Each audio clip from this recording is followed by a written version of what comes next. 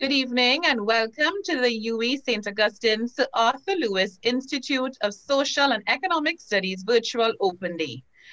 I am Wynell Gregorio and I'm the Director of the Marketing and Communications Office here at the St. Augustine campus. I will be the chair for this evening's proceedings.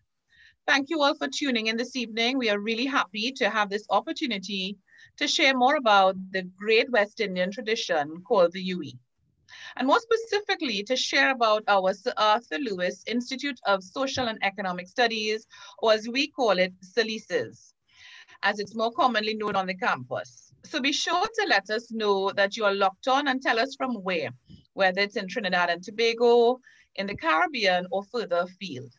So let's get started. Here's an idea of what this evening's program will be like. We will begin with brief remarks from the director of SALISES, then we will move into learning a bit about the postgraduate programs of studied, studies that are offered. After which we will transition into the Q&A segment. We will also hear from the Division of Student Services and Development, or as we call it, the DSSD. And our representative will talk about the student services that are available on the campus. To our viewing audience joining us on YouTube, please feel free to share your comments and questions in the chat all your questions will be answered during our Q&A segment. Now, SALISES was established in 1999 and is named after Sir Arthur Lewis, Nobel laureate in economics and the first vice chancellor of the University of the West Indies. But to tell you a little bit more about the Institute and to give you more details, I warmly welcome Dr. Hamid Ghani, the director of SALISES. Dr. Ghani?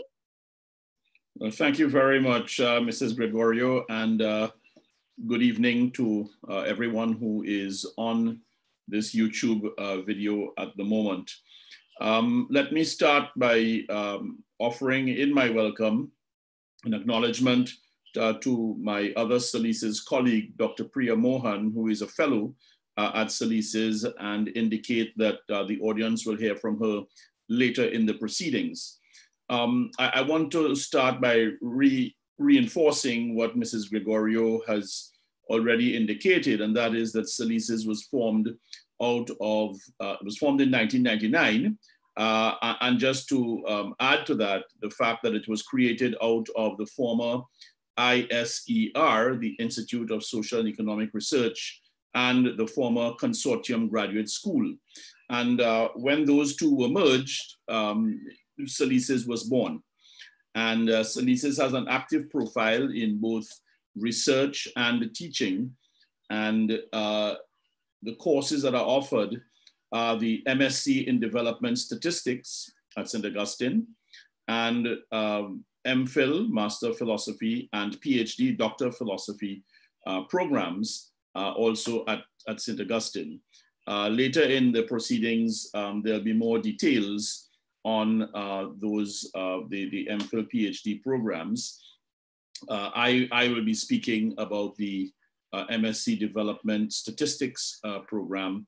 And uh, what I'll do is I will transition to this at this stage and um, ask my colleague, Dr. Priya Mohan, um, if she can share her screen uh, with our audience so that um, I can start with the MSc development statistics and then I will hand over to her uh, to do the MSc, the MPhil and PhD courses. So Dr. Mohan, when you're ready, thank you very much. Um, ladies and gentlemen, uh, members of the public, um, what you're seeing here is um, you're going to be seeing um, is a series of um, PowerPoints uh, that will relate to the programs that we offer and for which we accept uh, applicants uh, to study uh, at, at SALISES, this Arthur Lewis Institute of Social and Economic Studies. I'm going to talk a little bit about the MSc in Development Statistics uh, for the academic year 2020-2021.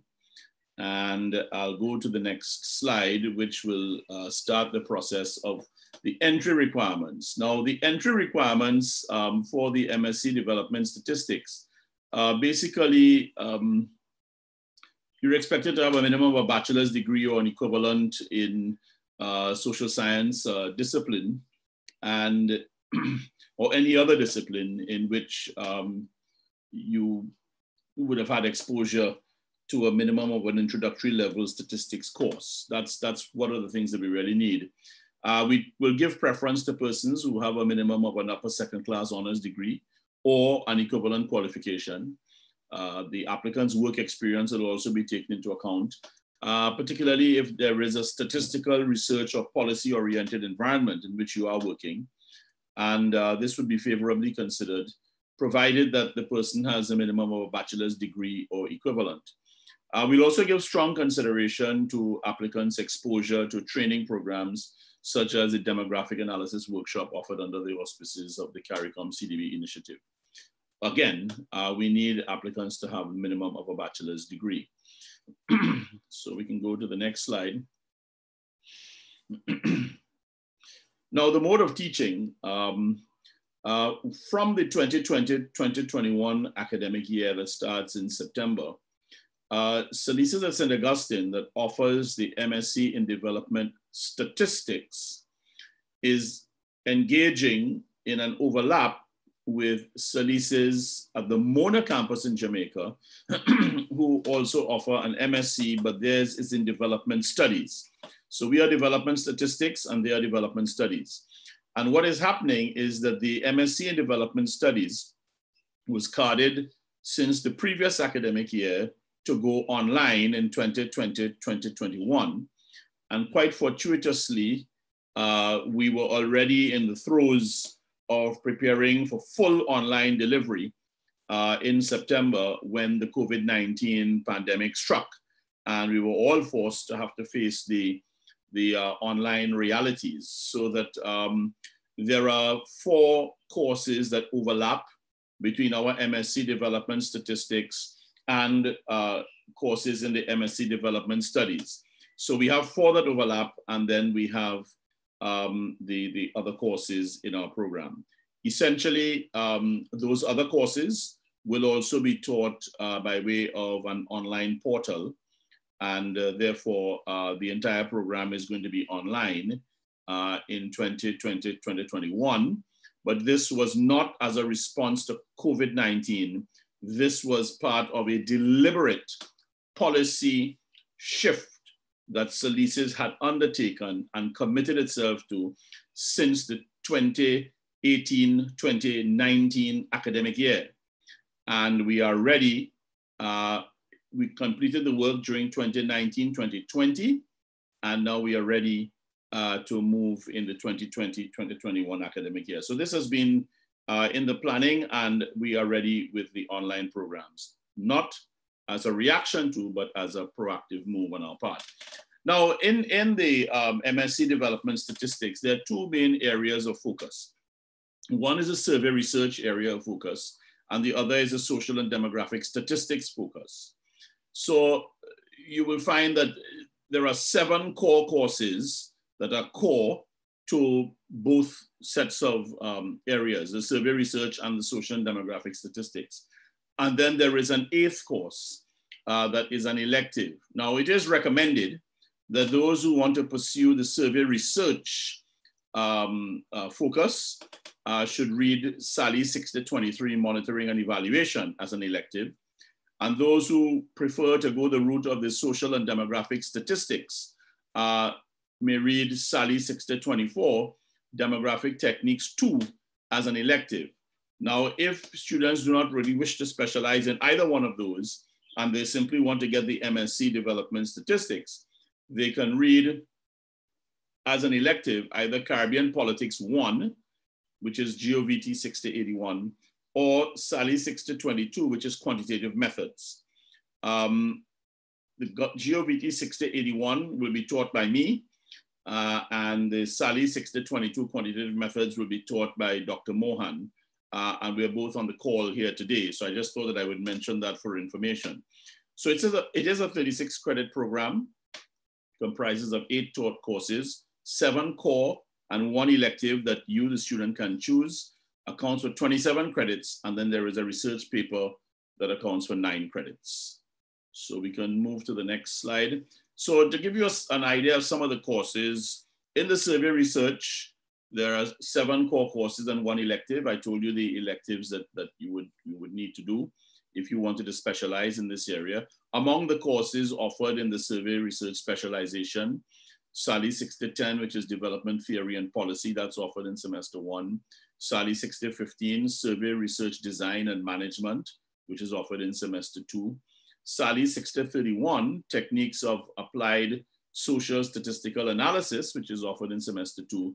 And SALI 6011, policy analysis and management, which is offered in semester three. Semester three is a semester that is commonly known as the summer semester, and it runs from the end of May uh, to the end of July, with exams being in August. This year it's slightly later because of the COVID-19 situation that came upon us uh, in March. Uh, we could move on, right. In the social and demographic statistics specialization, again, eight courses have to be completed and you have seven core courses and one elective. So full-time is three semesters, part-time is two years or six semesters.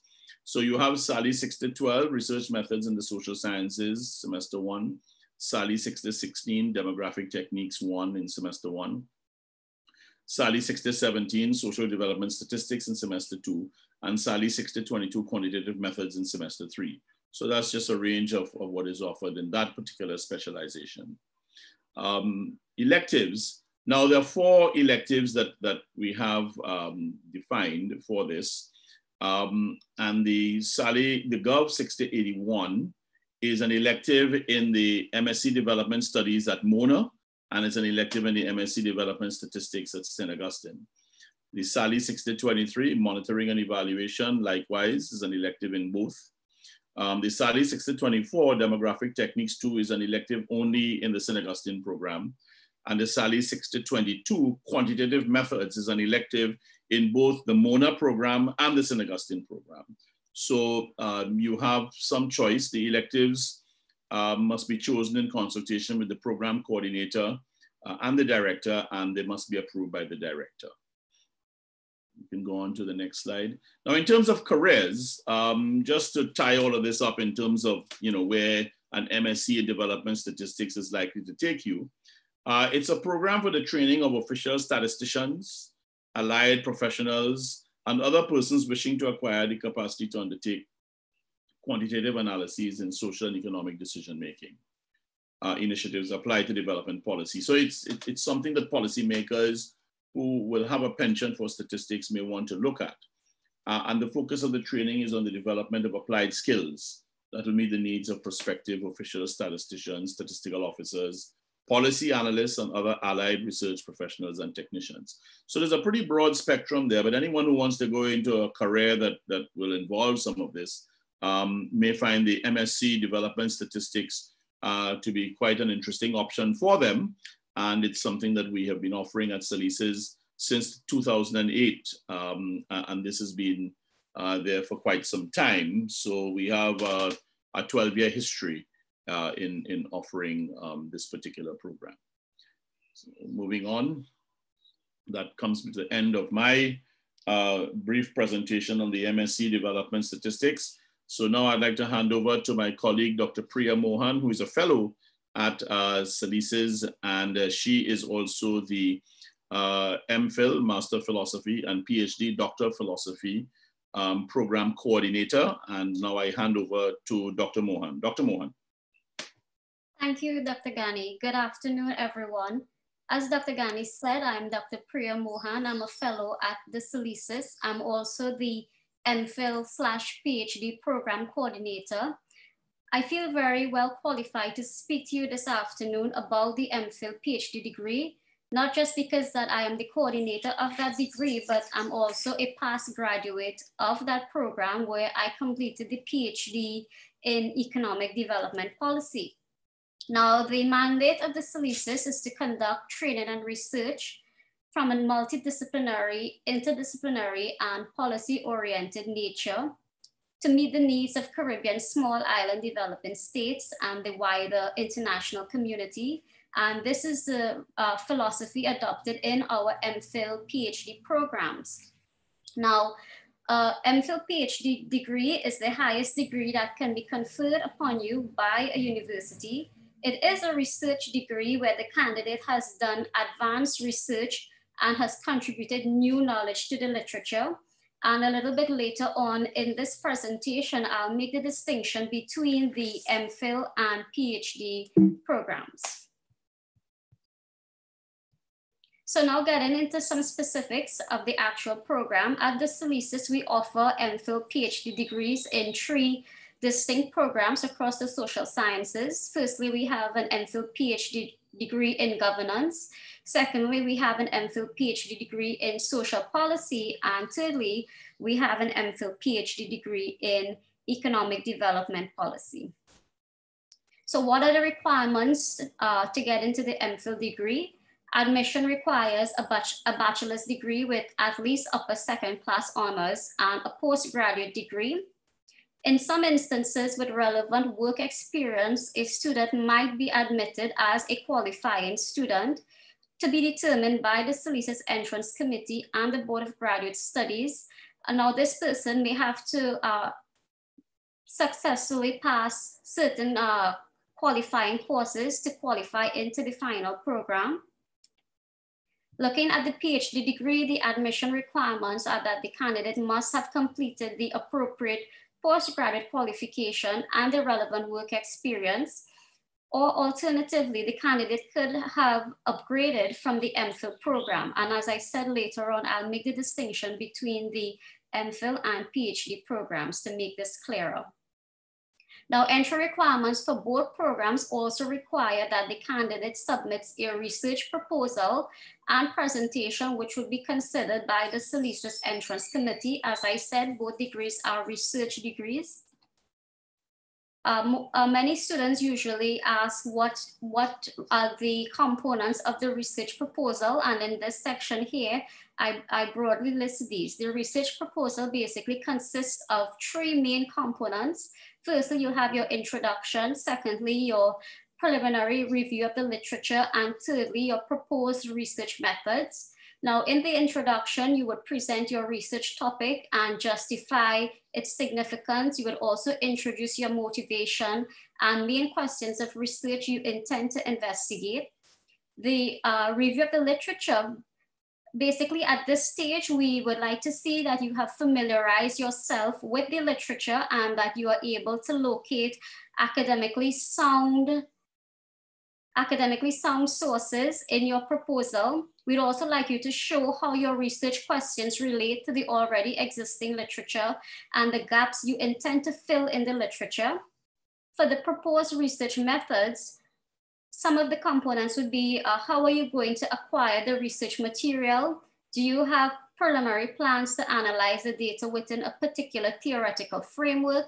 Are you going to adopt a qualitative approach, a quantitative approach, or a mixed methods approach?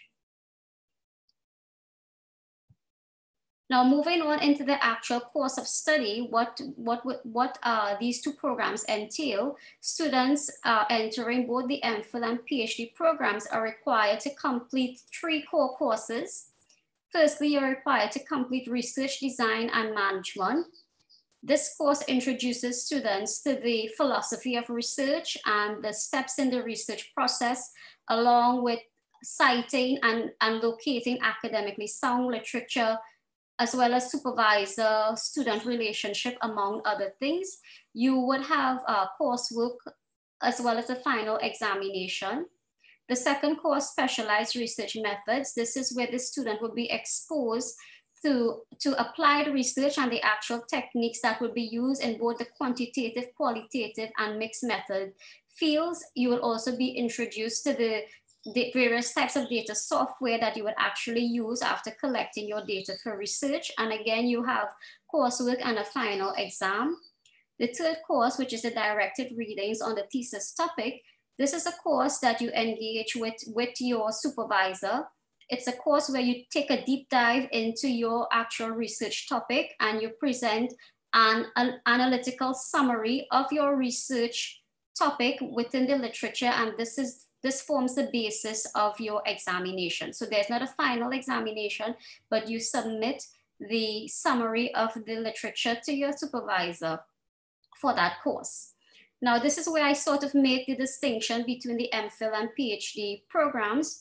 In the course of study, in order to successfully complete the MPhil, you need to conduct two public research seminars where you will be questioned on your research findings, your methodology, etc. And you will also submit a dissertation of 50, no more than 50,000 words.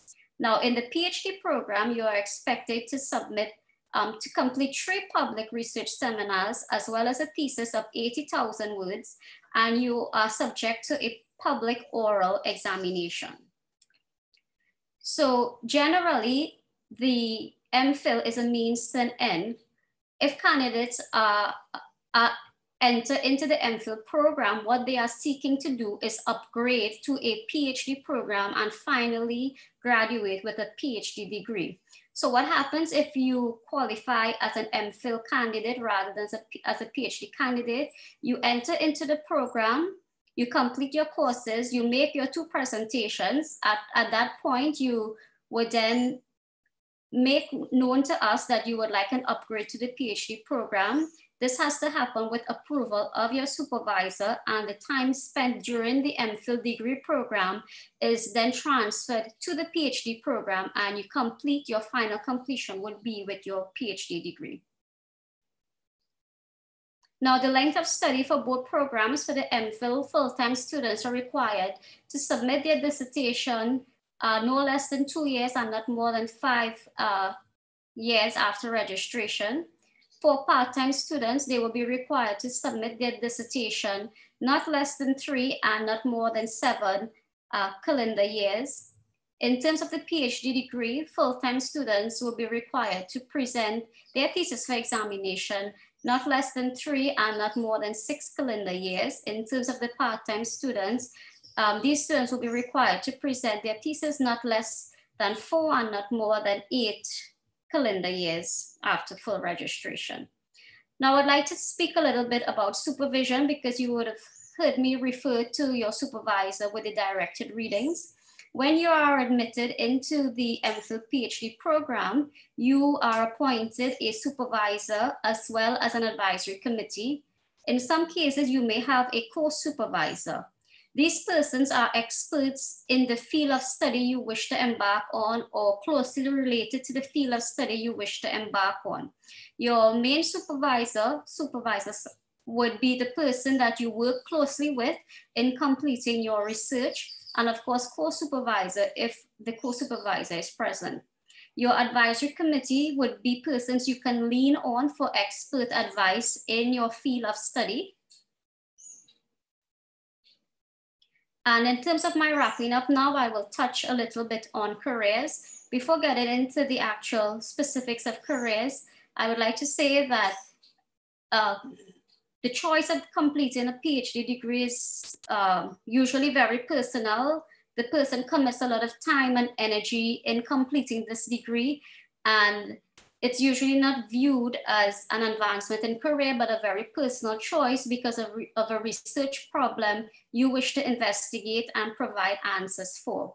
Now, with saying that, of course, there will be tremendous uh, career opportunity for you once you have embarked and completed your PhD degree. And I have listed here, of course, it's a research degree. So on top of the list would be in as an academic in the university, whether you're a lecturer a research fellow like myself, you can work at the university, other higher level education institutes.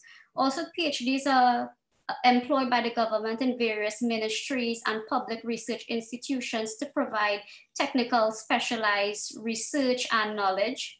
Also, um, many develop, international development agencies hire PhDs. These agencies include for instance, the United Nations, the Inter-American Development Bank, the World Bank, the Caribbean Development Bank, and the list goes on. Also, uh, after completing your PhD, you can go into consulting and form your own establishment as you would now be deemed an expert in your area to offer advice. And these are just some of the broad categories um, of opportunities that may be available to you once uh, you have completed the program. I show you here on this slide some uh, contact information if you wish to get in contact with us. You can always visit our Salises website. The website is given there for uh, further information and more contact information.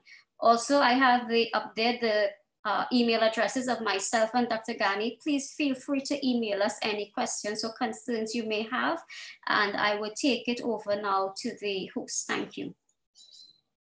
Thank you, colleagues. Thank you for sharing the programs of study and the opportunities for research and uh, the clarification you gave on, on many of the topics. Uh, and folks, when you study at the Salises, you can truly appreciate and get to experience the regionality that is the, the, University of the West Indies. Because as you heard from Dr. Ghani, you will be attending virtual classes along with colleagues at the Mona campus. So there is that sharing and that collaboration. Now, as we transition to the Q&A segment, please keep sharing your questions and your comments in the YouTube chat. And I hope that the information we are sharing this evening is helping you to better inform your decisions to choose to join us, to sign up that application form and come to the University of the West Indies St. Augustine campus. I want to assure you that we are committed to your academic journey. To that end, we are adjusting the format of some of our courses and programs overall, at the same time maintaining the quality of our courses and programs. So here's a couple of things we need to, to pay attention to before we proceed.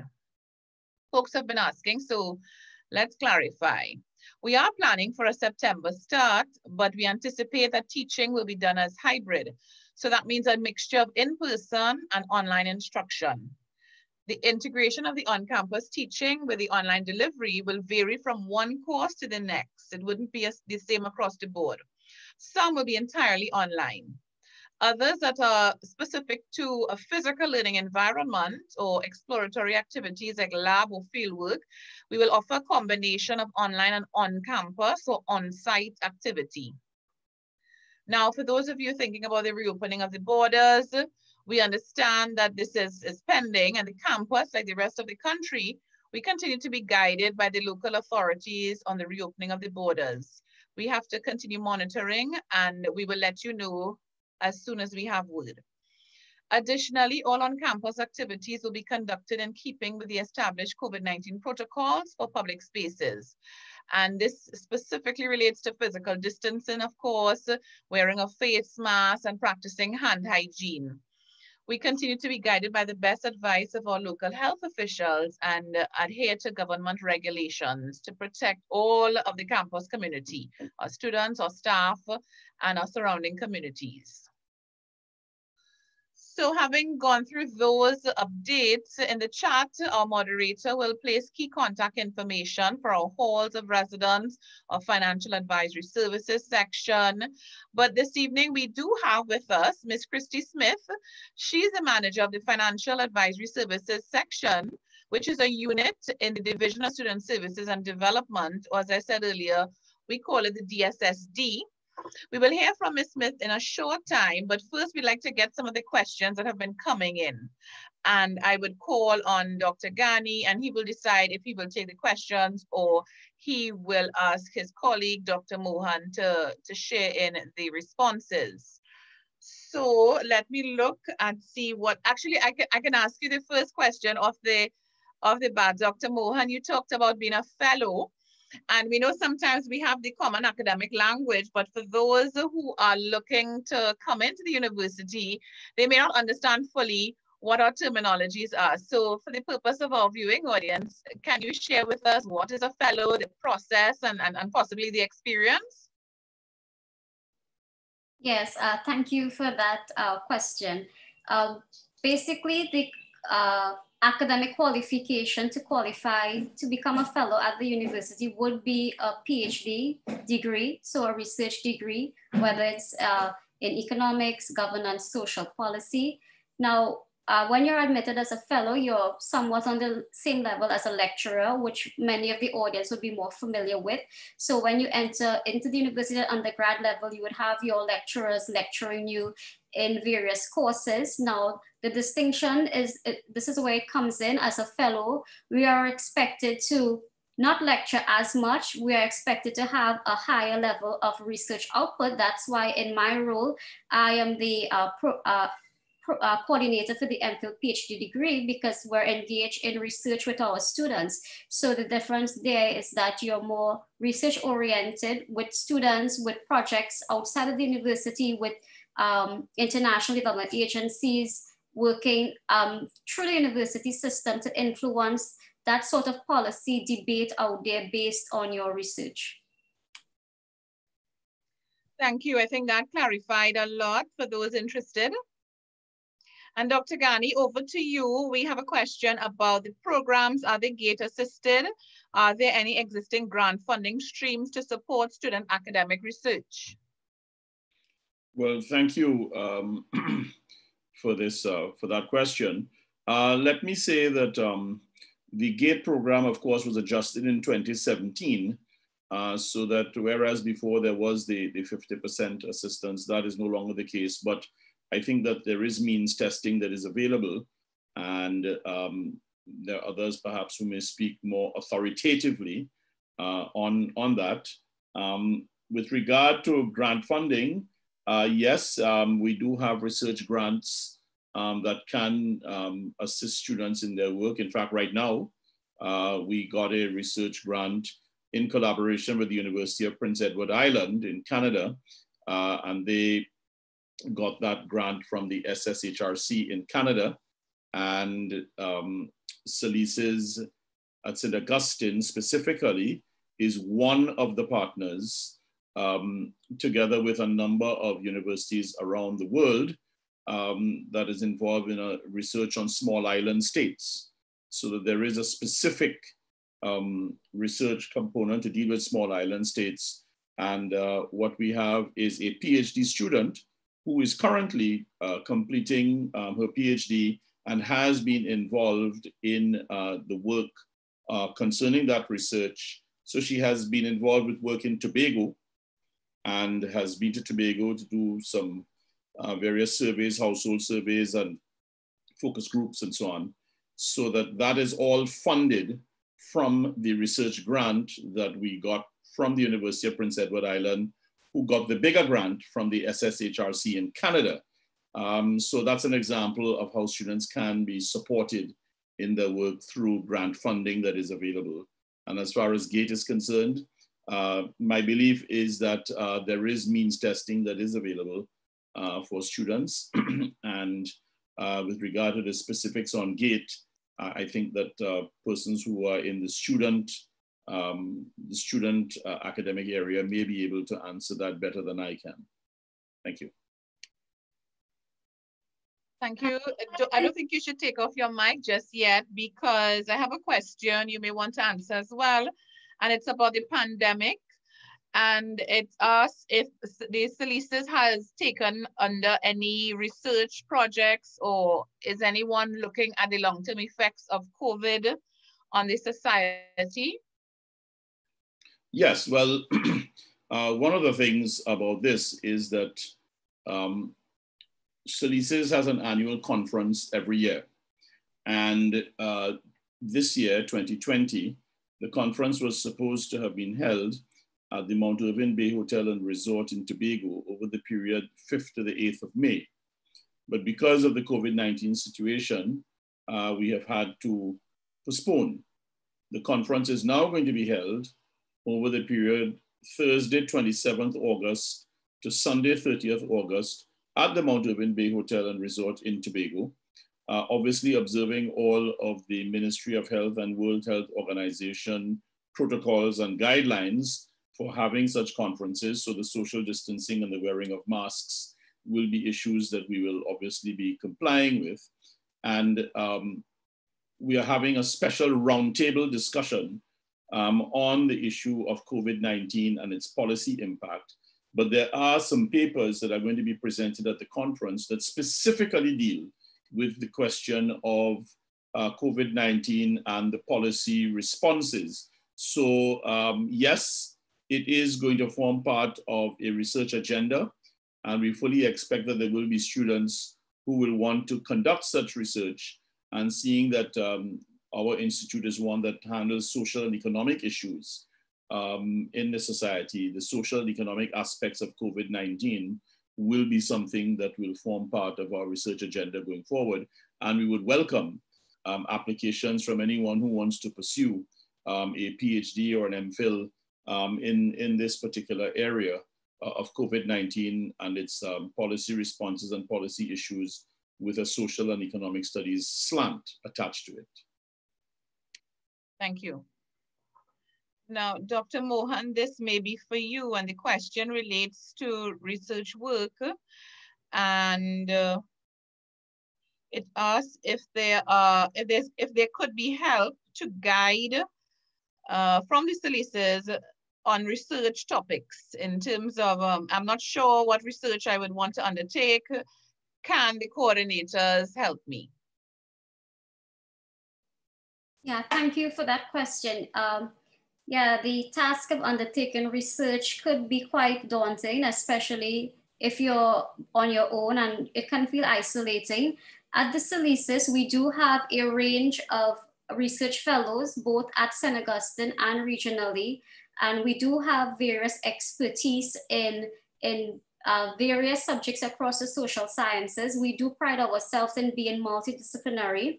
So uh, I can advise students to go on to our website you can start by reading some of our staff research profiles and you would actually see the um, different types of research that we are each engaged in.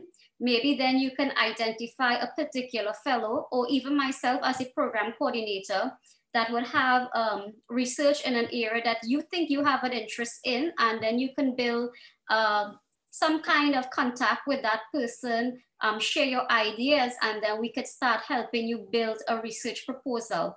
Now, when I did give the presentation and said that you have to include a research proposal, at that stage, we are not expecting a complete total proposal.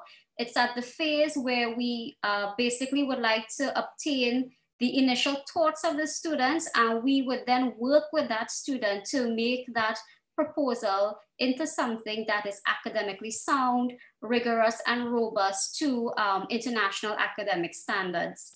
Um, Chair, if you'd also allow me to just speak briefly about the grants, because as a past graduate student of the UWI, I do have some familiar, familiarity with the um, types of funding available. Now, through the Office of Graduate Research, um, you can apply for scholarships if you're coming in as a full-time student and those scholarships would help um, give you a monthly stipend if you qualify for those scholarships. Um, if you do not qualify for those scholarships, you can also apply for various grants. You can apply for a grant, for instance, to collect your um, data so you can actually um, if you have to go out on the field and collect quantitative or qualitative data, you can apply for a research grant to collect that type of information. Also, we do have um, funding available for students to attend conferences, both regionally and internationally, through the Office of Graduate Studies. You have to qualify, you have to have um, something that is academically sound to present when you attend that conference and it has to be supported by your supervisor. So at the university, we do have a lot of avenues and opportunities for students, very exciting. And if you go on the Graduate Studies Research website, you will also get that information. Thank you for that. And actually that was another question that came our way. So I think our viewers were able to, to hear the responses for that. And I can move on to another question. Uh, does the Salises offer any short courses outside of the courses for a degree program? And, and Dr. Ghany, when you're answering that, perhaps you can also talk about if someone can look at a program and, and do one particular course within a program. Can someone just come and register to do a particular course on its own? Yes, well, thank you for that. And um, uh, we have developed and we got authorization two years ago to uh, offer single standalone courses from our MSc Development Statistics program uh, in what is called the summer semester or what we would call semester three. Um, so that uh, this year, for the first time, we were able to offer four courses, which we advertised to the general public.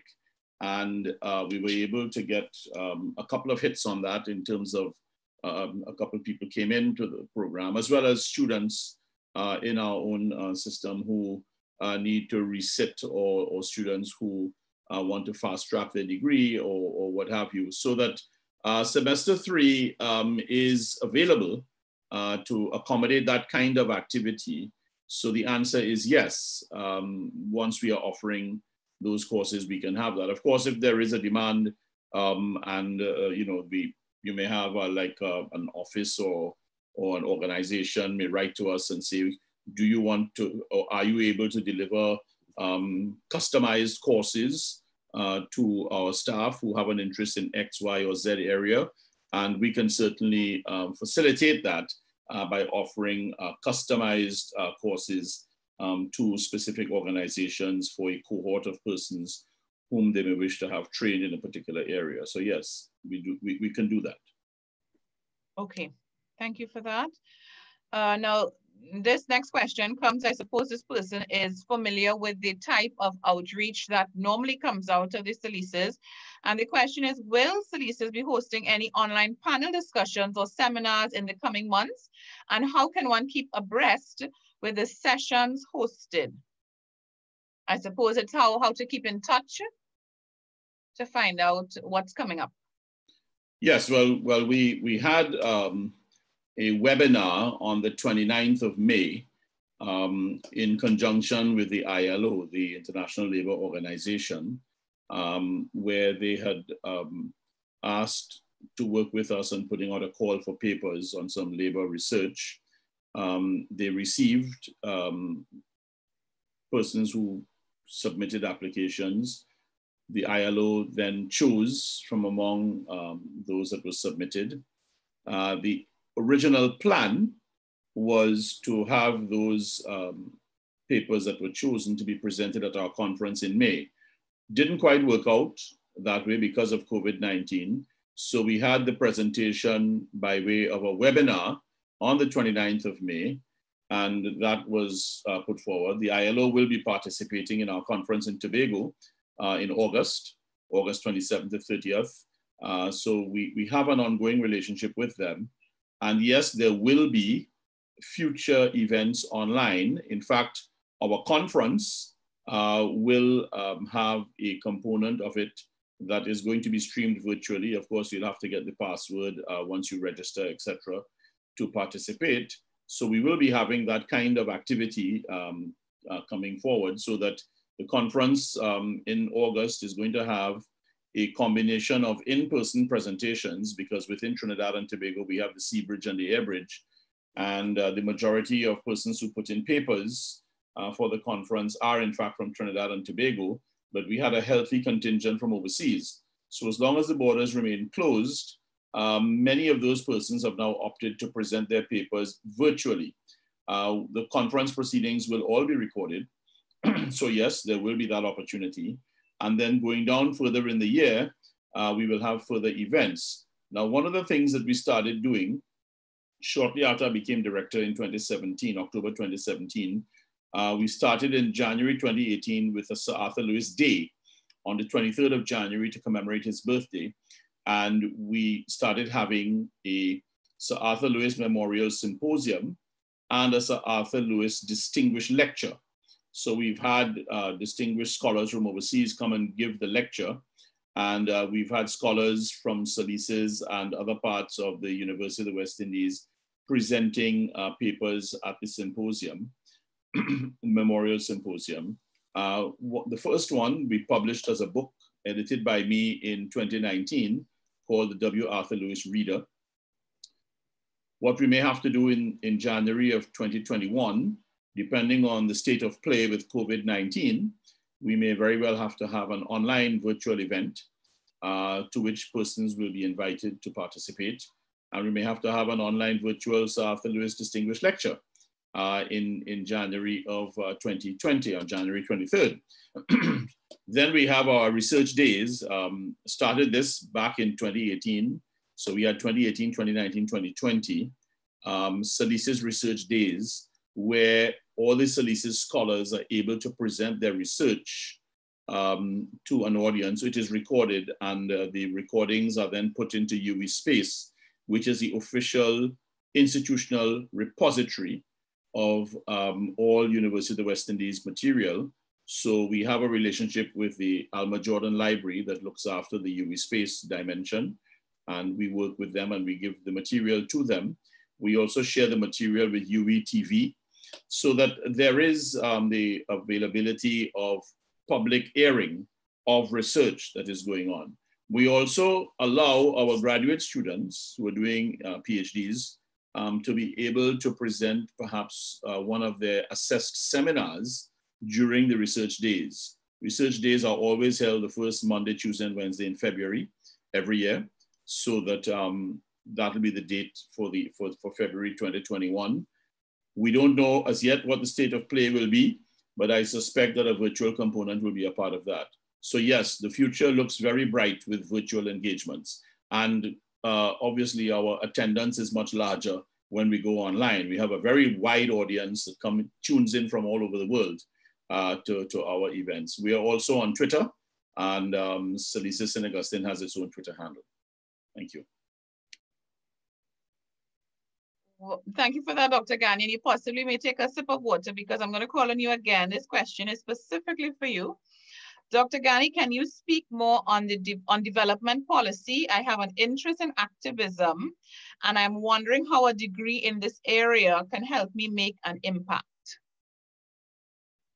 Yes, well, um, we're always happy to hear from potential activists and persons who have an interest in activism, uh, because the University of the West Indies, um, as an institution regionally, has a long, rich, and diverse history of activism.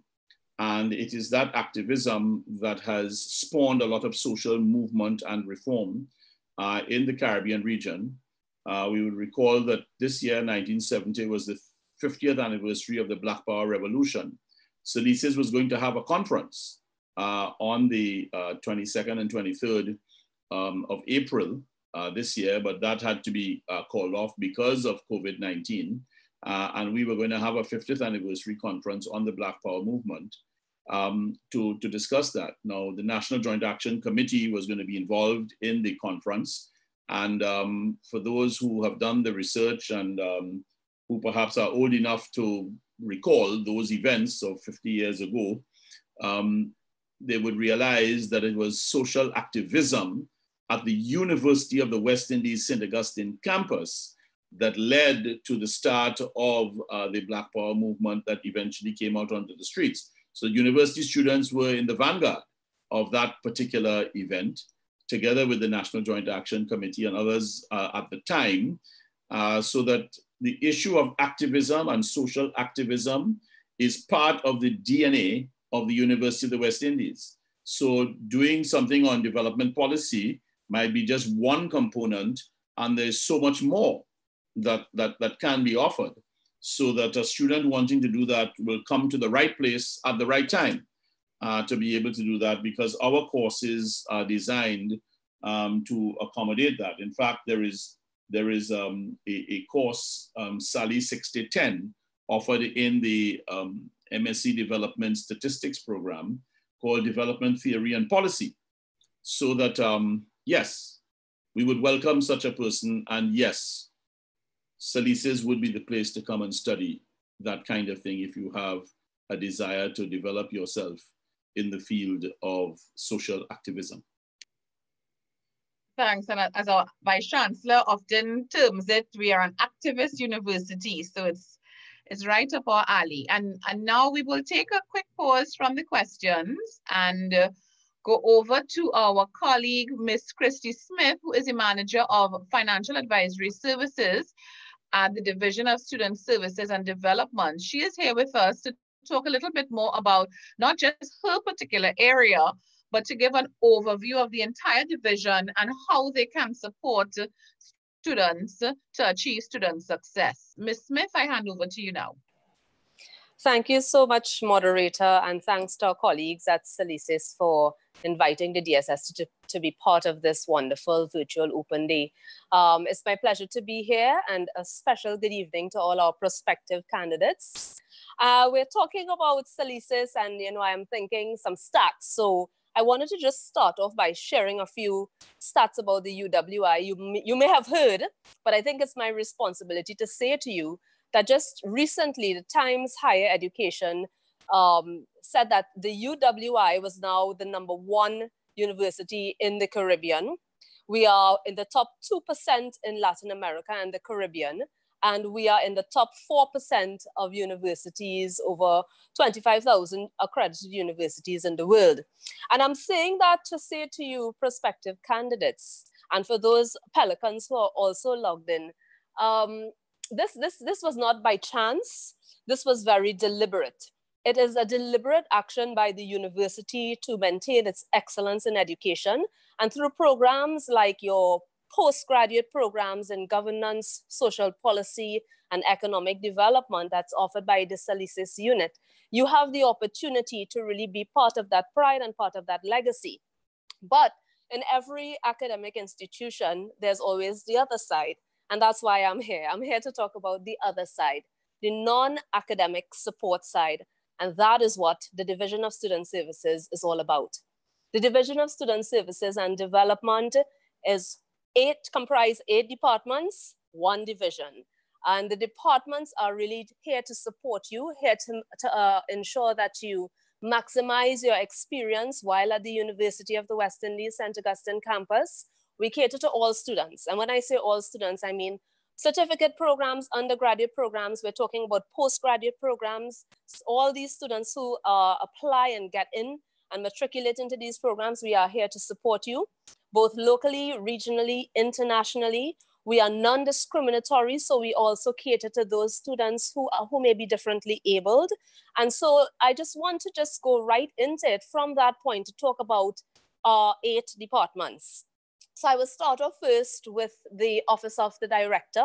And that office is charged with the responsibility for what some of you who were in your undergraduate years, who I'm sure participated, in our first year experience program that allows students to maximize their transition, help them with their transition as they come into the UWI. Um, the director's office is also responsible for all the projects within the division and of course for the general leadership and guidance of the division as a whole. Up next, we have our C3 department, careers, co-curricular, um, co-curricular programs, and the community engagement program. And I heard Dr. Mohan speaking earlier about the careers that you can have with your PhD in research, technic those technicians um, applying for government jobs. Well, our C3 department can add to that by offering you services such as uh, interview prep, uh, reviewing your resumes to ensure that it is, it is in sound shape to send out to your potential employers. Uh, they also help you to understand how to navigate the workplace. While some of you may already be in the workplace, um, it's always good to retool. And so that department is there vested with the expertise to guide you and to shape you and to, to, to um, really allow you to understand what the new framework is all about. Uh, we also have within that unit the community engagement section, which uh, offers opportunities for volunteerism, um, learning outside of the classroom. We can never really truly get enough of that. For those of you with children, I'm sure that it will add some benefit to your life. You know, when you see, when your kids see you actively engaging even beyond the classroom, it's a different type of development and motivation for them. So you can consider that. So these are are some of the areas that you can participate in. Our C3 department also offers co-curricular courses which are available to postgraduate students. I'm, I'm really happy to say that because I know the committees were working very, very um, hard to get those postgraduate students locked on and in on these um, wonderful uh, co-curricular offerings. So that's our C3 department. And I would move next to our accommodations office. Our accommodations office is responsible for the halls of residences and for our postgraduate students, we have special rooms. So these rooms are available to you, postgrad students, um, by semester. Uh, they're approximately $8,900 per semester. Uh, the rooms are fully contained. Um, they are they attached to it you have it's air conditioned um, it's covid compliant and you are welcome once you come on board to access our payment plan, which allows you to make uh, three three equal payments across the semester, which eases your burden. We know how it is coming out of the COVID pandemic as well. So we have those rooms ready for you, for those of you both locally and internationally who may want to come on our halls of residence, um, that is available to you. We also have our CAPS department, career and, sorry, counseling and psychological services. Um, Dr. Mohan also mentioned earlier that, you know, a PhD is, is no easy feat and it, it takes a while. And so our career, our counseling and psychological services department, they are there to give you that sort of support, body, mind, and spirit. Uh, if you feel that you are having some challenges, whether personal, work related, our on-site counselor is there and ready to hear you, to listen to you, and to offer the the requisite interventions. So we have that type of support waiting for you here at the UWI. In addition, you would have heard me speak earlier about students who may be differently abled. We have our Student Life and Development Department, um, ably run by Dr. Huggins, who provides not only services for uh, persons with disabilities, both physical and mental, but also provides academic support.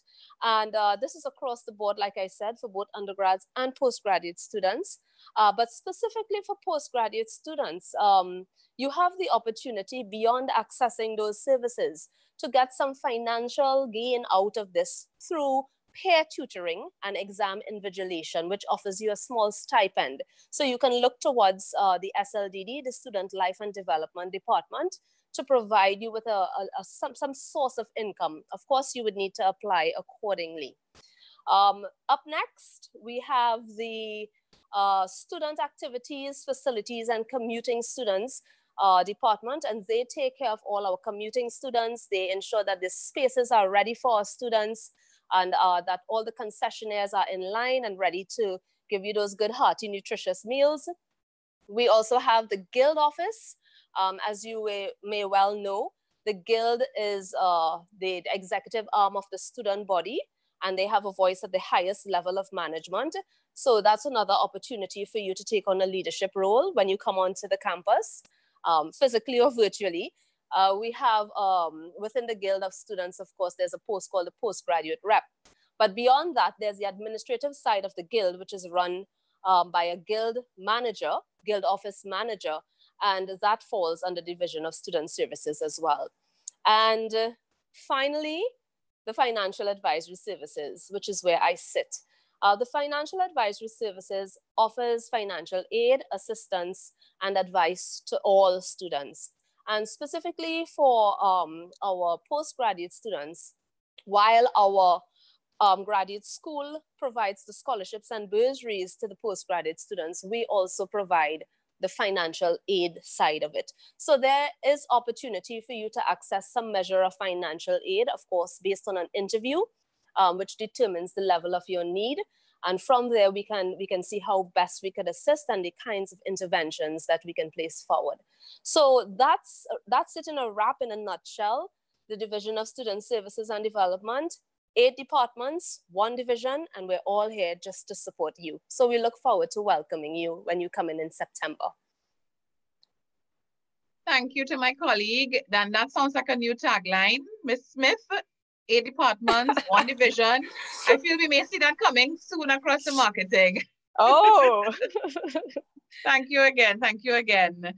And uh, we go back now to the questions. We have some coming in the chat. Dr. Ghany, you will tell me who will answer this one. I know there is also a Salises Institute at other campuses. Are the opportunities for cross-campus collaboration there? Yes. I know um, you would have referred to it earlier, but some may have just jumped on the, the session. So yes. perhaps you can repeat it. Yes, well, there is the opportunity for collaboration. Um, in, at the MSc level, there's the MSc Development Statistics at St. Augustine, and there's the MSc in Development Studies at the Mona campus of Salises. And what is happening is from 2020 2021, um, by virtue of a pre-planned exercise from 2018, 2019, um, at Mona is converting its MSc in Development Studies into um, a full-fledged online program. There are four overlapping courses between the MSc Development Studies at Mona and the MSc Development Statistics at St. Augustine. And those four courses, therefore, will be part of that online collaboration being taught across the region. And then the other courses um, in our uh, MSc Development Statistics will be taught using an online portal with resources at St. Augustine. There is also the ability to get supervisors for your research and members of your advisory committee for your research for MPhil and PhD students um, at the Cave Hill campus and the Mona campus of Salises so that the cross-fertilization of the regionality of Salises is available uh, to be part of your um, advisory committee in terms of supervision, co-supervision, as the case may be. And then, of course, Salises has its annual conference that rotates every year around the three Salises. This year is the turn of St. Augustine, and um, our conference has now been um, shifted from its original date in May uh, to the period of 27th to the 30th of August. And then next year, uh, in early May, uh, the conference will move uh, to the Mona campus and will be held under the auspices of Salises at Mona. And then in 2022, it will then go to the Cave Hill campus and be held under the auspices of Salises at Cave Hill. So we have a fair amount of cross-fertilization and engagement across borders uh, within Salises, and that creates opportunities for both students and staff in terms of that kind of collaboration. Thank you. Thank you for that. Dr. Mohan, you may answer this one. Uh, and it, it's in terms of research degrees, and then someone is asking, why should they consider a research degree? So I suppose you could possibly talk about taught versus research and, and possibly the difference differences. Uh, thanks for the question. So um, going back to the presentation, I did say at the beginning that um, the MPhil PhD degrees, they are both um, research type degrees. They are also the highest level of uh, educational attainment you can obtain from the university. Why embark on this journey?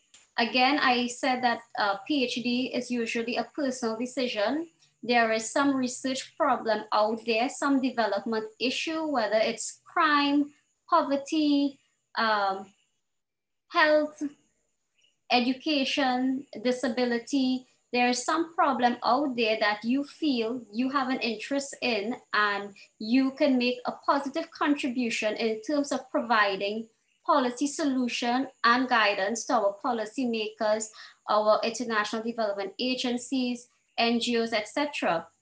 So why engage in a research degree? You do have an interest in a specific research problem. You want to investigate that problem and provide solutions. Of course, you also want to, to obtain a research degree because you would like to have some career advancement.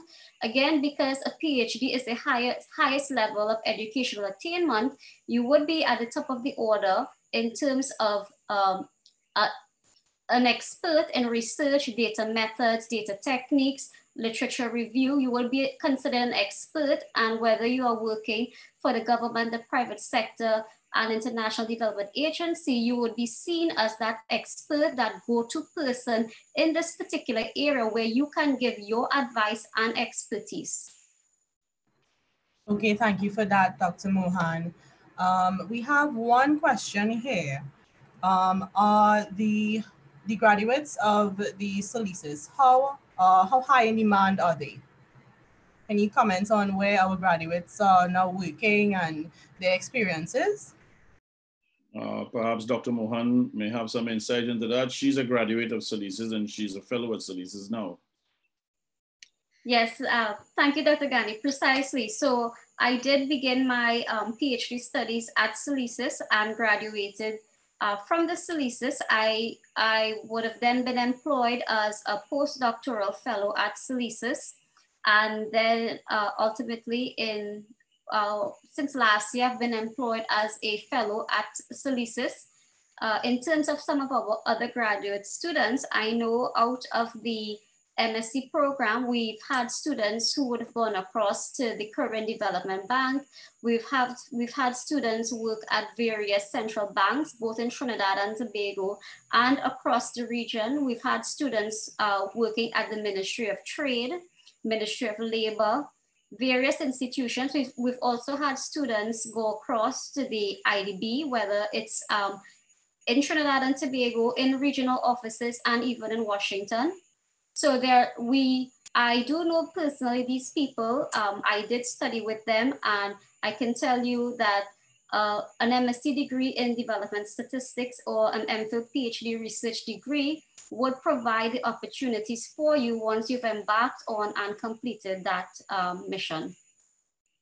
Okay, great. Um, that sounds really interesting and uh, again speaks highly to our graduates. Um, so the next question is, are there any open calls for proposals and what is the time frame for academic review and publication? Are there forums for, peer to, for peers to collaborate? Dr. Ghany?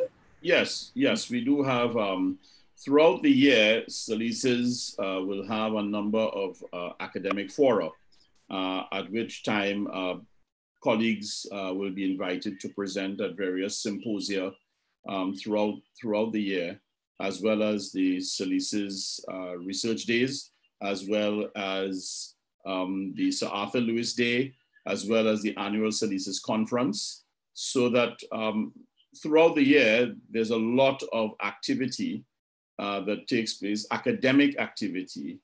And once you have uh, scholars who are driven to keep churning out the work and uh, are, are continuously uh, inquisitive about aspects of their field of study, um, you're going to find that there is a welcoming forum at SALISES. And we don't only confine our events to SALISES scholars.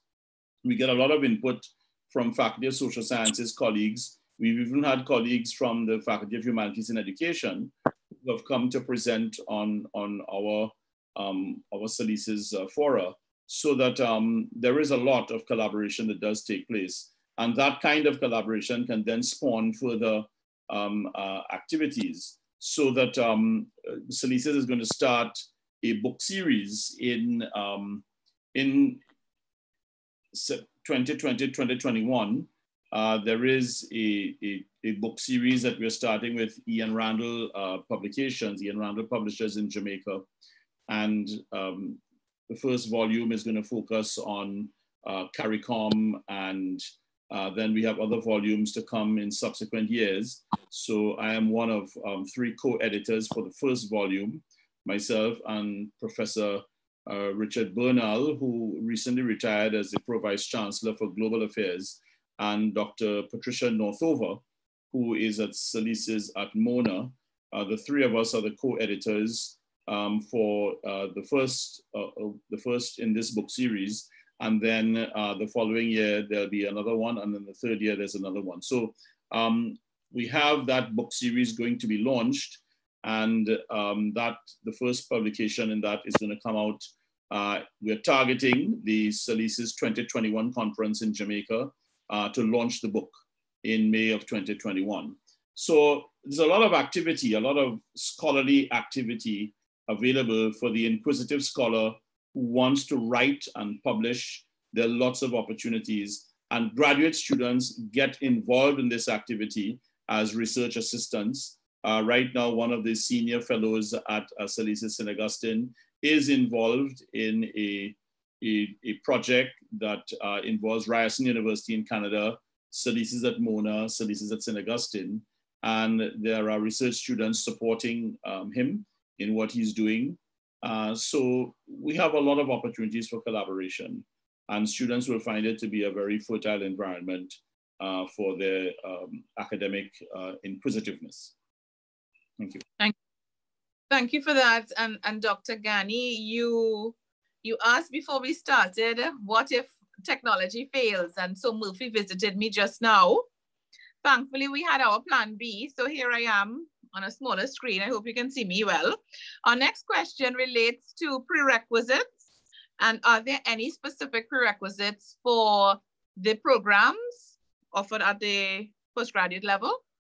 Yes, well, in the MSc Development Statistics, um, you would have um, prerequisites for some of the courses. So for example, um, SALI 6015, which is Survey Research Design and Management that's offered in semester two.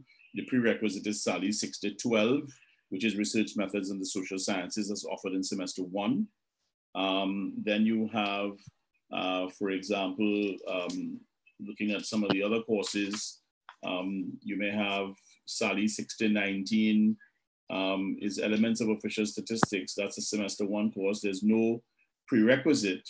However, um, if you, you want to uh, move on to do um, another um, course, uh, that will then become a prerequisite for another course later on. So SALI 6017, for example, Social Development Statistics, has as a prerequisite SALI 6012, Research Methods in the Social Sciences.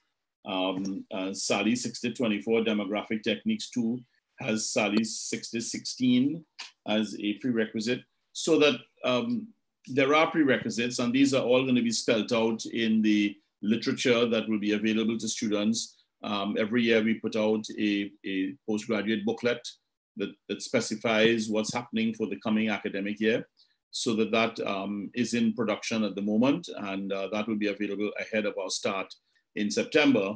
But the answer to your specific question is yes, there are courses with prerequisites and um, that is all part of the building blocks within the program.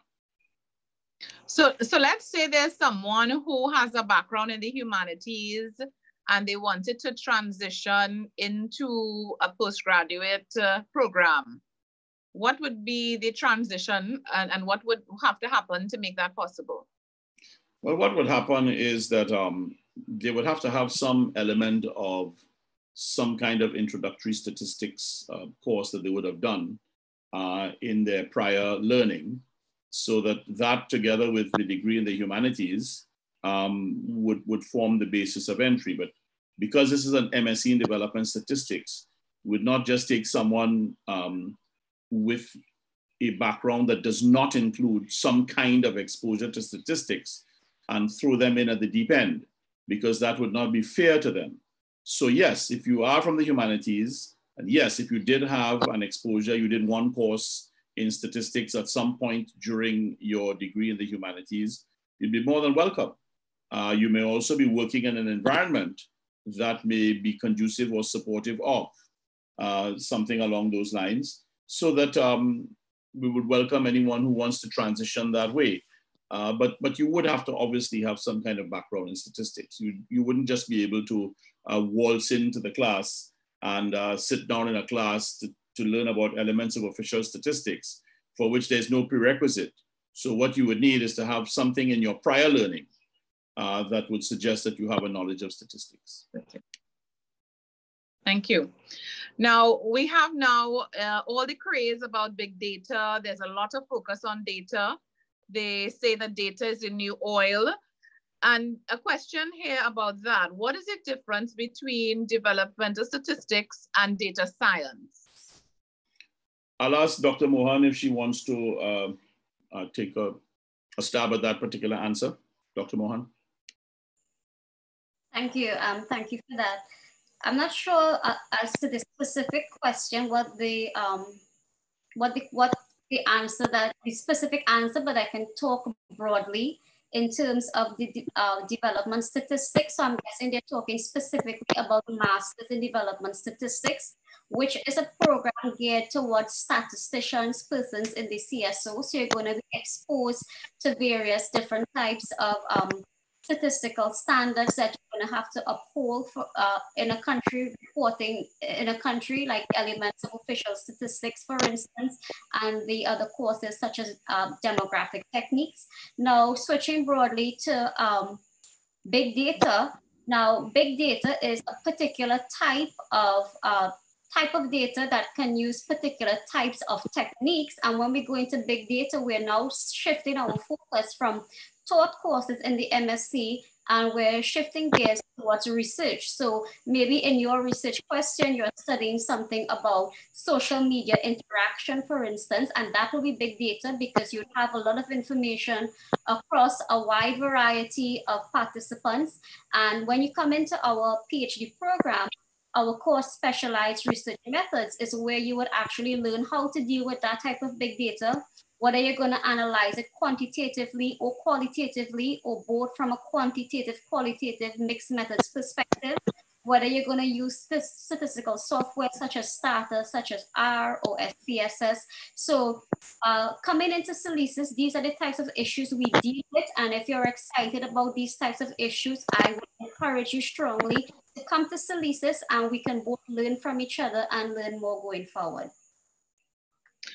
Okay, so we're we're winding down just a bit, and before we wind down, I want to ask you, um, to my two colleagues, what uh what is your hope for the graduates of the Salises? What what would you want to have happen when they finish, they graduate, and they go out into the world on a national basis or on a regional basis? What is your hope for your graduates, specifically from the Salises? Well, one of the, the, the main things is that um, they go on uh, to uh, have themselves located in positions of influence with regard to policy making, uh, whether it is locally, regionally, internationally, some international organization or what have you. Uh, as it is now, we have graduate students who have found themselves in the IDB or, or the ILO or, or in some other um, international organization or in CARICOM or the OAS or wherever, um, there are students who hopefully will be able to find employment at very influential policy levels in international organizations that would permit them to be able to exercise a measure of influence over policy directions and that that influence will come from uh, their experiences at Salises, having been exposed to a mix of programs, a mix of personalities who would have taught them in the classroom, whether virtual or in person, and a mix of experiences that they would have had at the University of the West Indies in terms of all that it has to offer. Because at Salises, we're not the only ones who put on conferences and symposia and fora, uh, forums and so on. The, the entire university has lots of conferences and lots of forums and public lectures and you name it, it happens within the, the walls of the University of the West Indies. All of those events cumulatively will impact on our students. And some of our students are mature students. They're already working in organizations and they've come to further their degrees for career advancement. Others are young uh, students who've graduated and they're now looking to find their way in the world and will move forward to make careers after they graduate.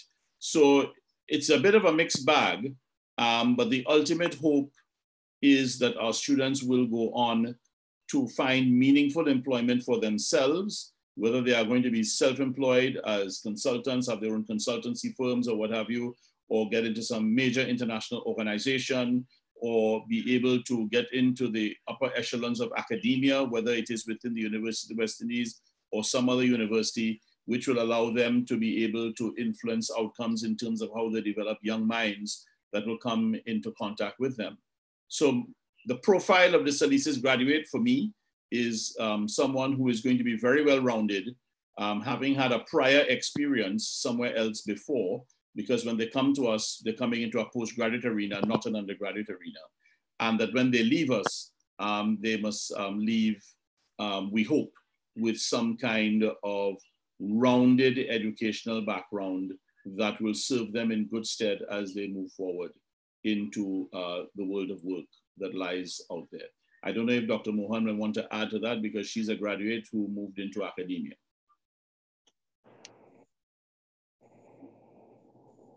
Thank you, uh, Dr. Ghany. Uh, I see all our graduates as ambassadors for the Salises.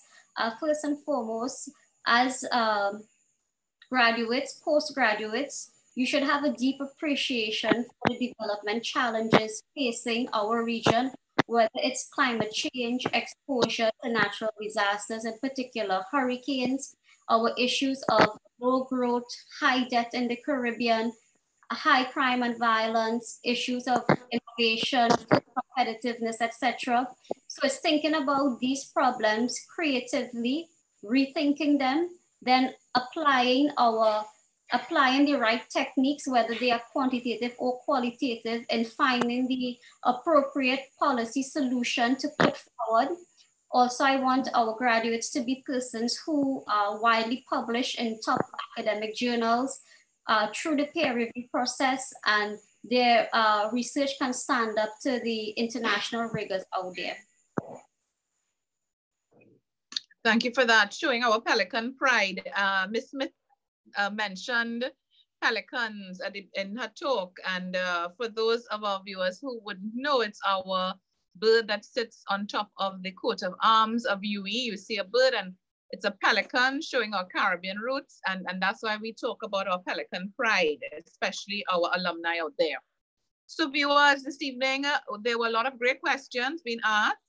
And I hope you were able to have your questions and your concerns addressed. After this session, you will receive an email from us and it will share the contact information for the Salises and you can liaise with uh, my colleagues directly if there's anything additional that you'd like to find out. So as we bring this session to a close this evening, I would like to invite Dr. Ghany to deliver his closing remarks. Dr. Ghany? Thank you very much, Mrs. Gregorio, for um, facilitating this event today.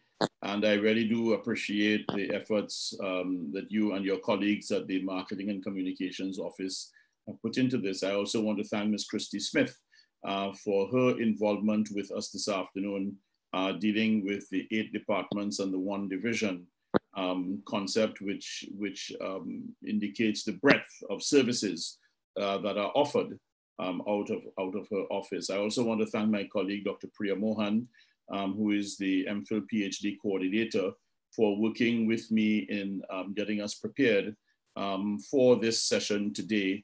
And I also want to thank uh, Ms. Shireen Ali in, in your office, uh, Wynell, for yeah. a lot of the work that she has done um, in, in getting us all prepared. Ms. Chanel Glasgow as well in your office, who also has supported us. Um, so that um, on the whole, uh, I want to um, say thank you to those who took the time uh, to tune in on this uh, to, for this YouTube event today, um, to be able to uh, pose questions and to hear some of what we had to say uh, about our programs uh, at Salises. And I'd merely want to indicate that um, should you have any further questions, you can uh, direct them to me at hamid.ghany at sta.uwi.edu or to priya.mohan at sta.uwi.edu uh, for any further queries that you have. So thank you all very much for viewing this evening and uh, hope to hear from you in the not too distant future. Thank you. Thank you, Dr. Ghany. Thank you, Dr. Mohan. Thank you, Ms. Smith and all my colleagues who made this happen. Participants, viewers, thank you for being with us this evening. Our session is part of a series of many virtual open days that we've done. We've done on the undergraduate side, the postgraduate, and then we did faculties, all our eight faculties. And then starting earlier this week, we featured our institutes and our centers. And we will be hosting another postgraduate admission session on Tuesday, the 28th of July, that's next week, Tuesday, where you'll hear more about all the postgraduate programs from across all the eight faculties, the units, the centers, and more about the applications process. So to participate in the upcoming postgraduate session, you can look at look at um, look for us on Facebook where you'll see the link and you can sign up. So it's been my pleasure to host you this evening. Look out for an email from us, as I said. We will be sharing the recording and we will be directing you to some additional resources. All of us at the St. Augustine campus, we really look forward to welcoming you to our campus. Have a good night.